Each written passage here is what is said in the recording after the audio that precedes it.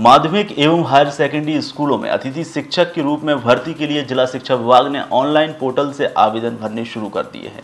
Collector Umaria स्वरोचित सोम बंसी ने बताया कि राज्य शिक्षा केंद्र के निर्देश अनुसार इस सत्र में सभी विद्यालयों में वर्गवार अतिथि शिक्षक के रूप में अध्ययन हेतु चयन के लिए ऑनलाइन भर्ती की जाएगी, जिसके लिए अतिथि शिक्षक के रूप में जो कार्य करने की इच्छा रखते हैं, वह विभाग के पोर्टल पर जाकर आवेदन कर सकते हैं।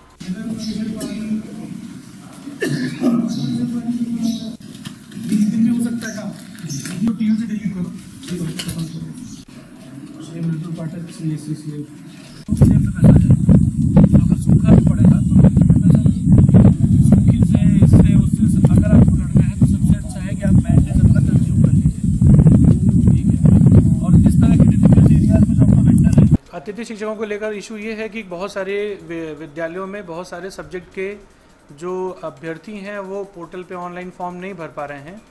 उसमें राज्य शासन से भी हम लोगों ने चर्चा की है और संचालनालय से भी चर्चा की है।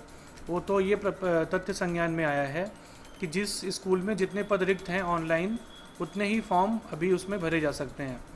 पहले जो प्रक्रिया ऑफलाइन होती थी तो लोग उसमें जिस सब्जेक्ट के टीचर्स हैं, ऑलरेडी उसमें भी आवेदन कर पाते थे या कर लेते थे, जो कि नियम के अनुसार ठीक नहीं था।